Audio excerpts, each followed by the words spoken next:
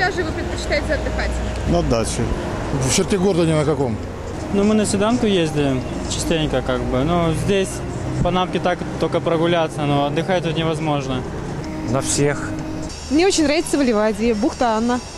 На Патрокле. Чем подальше, тем получше. На маяке. Ну, предпочитаем на там, ла- бухте Лазурной, на Шамаре. Скажите, пожалуйста, как оцениваете состояние пляжа, который находится в черте Владивостока? И санитарное состояние, и с точки зрения безопасности? А, ужасно. Пляжи совершенно грязные. Море грязное, купаться невозможно, если чисто так просто позагорать. Удобств никаких нету. Что это пляж, значит, что ли?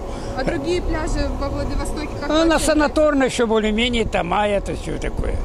Да возмущает э, грязь на пляжах. Не чистится.